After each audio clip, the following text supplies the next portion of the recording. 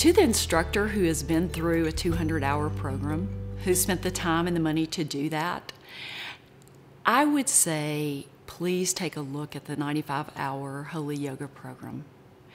The reason is because it is a gift.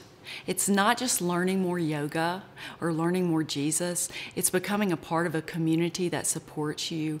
It's becoming a part of something that's bigger than yourself. It enables you to really look at what God wants to do through you, not to exalt yourself, but to exalt Him. And it really is a dying to self when you become a holy yoga instructor.